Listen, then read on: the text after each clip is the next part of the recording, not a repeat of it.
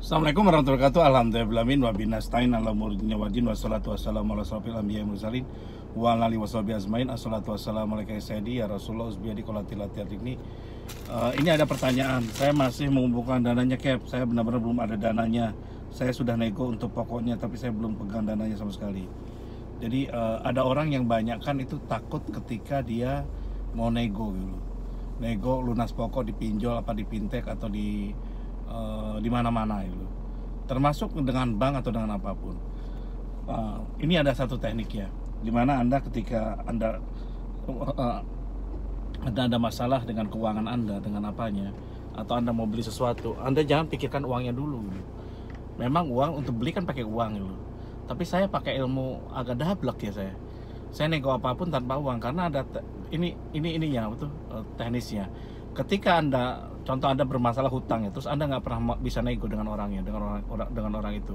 Anda takut akhirnya anda masuk pada kategori ini apa itu tidak kooperatif gitu. Paham prestasi jadinya. Jadi anda nego dengan bank cap saya mau nego dengan bank tapi kan belum banyak uang gitu. Ya nggak bisa. Kalau nunggu ada uangnya kapan negonya nggak jadi jadi gitu. Tiba-tiba dia udah ngajukan aja lelang atau apa pun. Dan anda tidak dikasih tahu. Tiba-tiba dia udah udah buat eksekusi aja gitu masih bisa kita lawan di pengadilan cuman repot gitu. Tapi intinya kalau kita ketika kita lakukan negosiasi eh, ketika kita meskipun belum ada dana itu menyebabkan kita masih masuk tahap kooperatif. Sehingga, sehingga kalau masuk ke ini pun ke mana? Ke ranah pidana eh, berdata ke pengadilan itu ada kemungkinan anda menang gitu karena anda kooperatif gitu. Jadi kooperatif itu dan lelang sembarangan ketika kita, kita kooperatif gak bisa gitu. Ini saya pernah beli sesuatu itu saya nggak ada dana saya nego tuh termasuk ruko yang saya tempati itu kan nilainya miliaran. Dulu saya beli hampir 4-5 miliar gitu. Dan itu saya nggak ada dana. Waktu itu saya nego aja karena saya pengen punya sesuatu saya ngedoa sama Allah ketika saya sulit.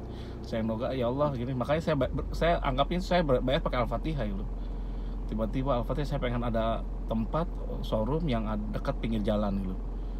Jalannya jalan rame lagi. Yang biasa dilewati petinggi gitu di Bali tuh ada dua jalan yang bagus Sunset Road sama bypass Ngurah Rai Sanur gitu tapi bypass Ngurah Rai Sanur itu dekat kantor saya yang lama dekat workshopnya. Kalau di Sunset Road jauh gitu terus yang kedua presiden banyak lewat ke situ daripada Sunset Road gitu jadi intinya presiden mungkin anda juga sering lewat karena anda kalau ke Sanur lewat situ. Jadi kalau mau ke kota lewat situ jadi keluar tol langsung masuk gitu. Nah itu dia gitu. Jadi saya butuhnya seperti itu. Dan ternyata alhamdulillah Allah ngasih gitu dan waktu itu tiba-tiba saya minta, tanda jadi. Waktu itu belum ada dana. Ada tanda jadi minta ini akhirnya saya kasih 50 juta dulu. Tiba-tiba ada dana. Saya nggak tahu dana dari mana itu. Saya ngobrol dengan orangnya negosiasi. Dikasih waktu berapa bulan ya? 6 bulan atau setahun saya lupa itu.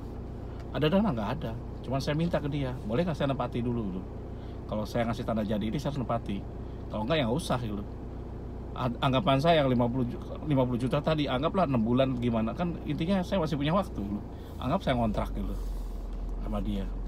Nyewa tempatnya kan gak, gak ada salahnya. Jadi saya meskipun milik nggak ada uang saya jalan gitu.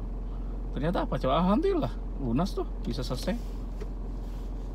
Terus nego dengan apa pun sekarang dengan bank ketika nggak ada dana saya nego. Sulit saya nego semua nego gitu. Jadi anda kalau ada masalah dengan pinjol fintech atau apalagi pinjol fintech apalagi dengan yang lain. Dengan bank aja saya nego dulu. Jadi negosiasi itu tidak perlu nunggu ada dananya.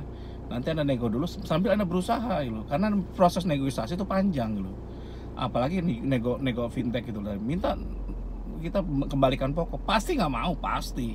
Itu strategi buying time namanya yang saya, bilang-bilang tadi. Buying time tuh bukan namanya membeli waktu gitu jadi anda nggak ini dan anda maksudnya kooperatif gitu ketika anda teman anda menjelekkan anda saya nego kok ini bukti negonya gitu. Nego kok. Terus anda langsung edukasi saya nego sekarang ini saya mau kembalikan pokok karena di Islam ini haram. Kalau bunga ini apalagi ini gede banget.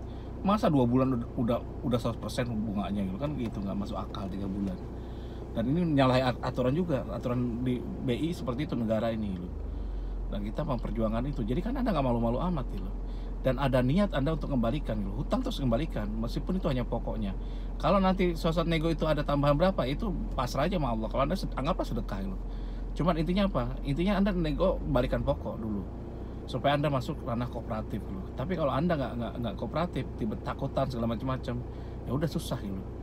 Ya, jadi ini penjelasan saya kenapa nego itu negosiasi nego itu di awal gitu, nggak nunggu dana gitu dana ada mudah-mudahan ini bisa bisa ini. Kalau ada ada pertanyaan lagi silakan saya akan jawab besok. Besok kan saya ada kopdar di Bali nih di Bali di kantor saya. Saya jawab di situ. Kalau kurang banyak kurangnya kalau salah banyak salahnya wabillahi taufiq wal hidayah. Wassalamualaikum warahmatullahi wabarakatuh